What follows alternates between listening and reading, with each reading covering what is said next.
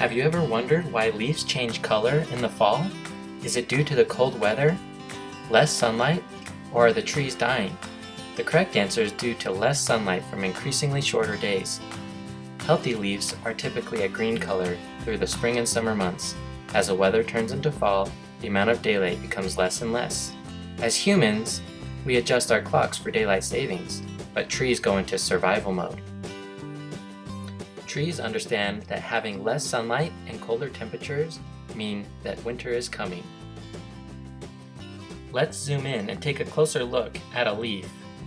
When fall time approaches, trees stop producing something called chlorophyll, a green pigment that helps convert sunlight into nutrient-rich sugars through a process called photosynthesis. This chlorophyll also masks the true color of leaves that was there all along. If a leaf is more yellow or orange in the fall, it's rich with carotene.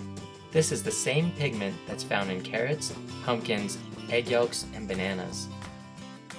What about leaves that turn red in the fall? If a leaf is reddish in color, that's because it contains a pigment called anthocyanin, which is actually toxic to small insects and helps protect the tree from bugs. It's the same pigment found in food plants such as blueberries and raspberries. Thank you so much for watching.